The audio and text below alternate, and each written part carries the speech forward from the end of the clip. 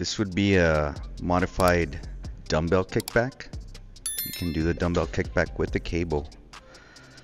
This really gets the tricep. You want to make sure that when you extend, you bring your fist upward. You twist your fist upward and you squeeze the tricep.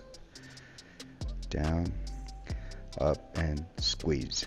See that when you when you bring your your fist up and you squeeze, you see that muscle contraction?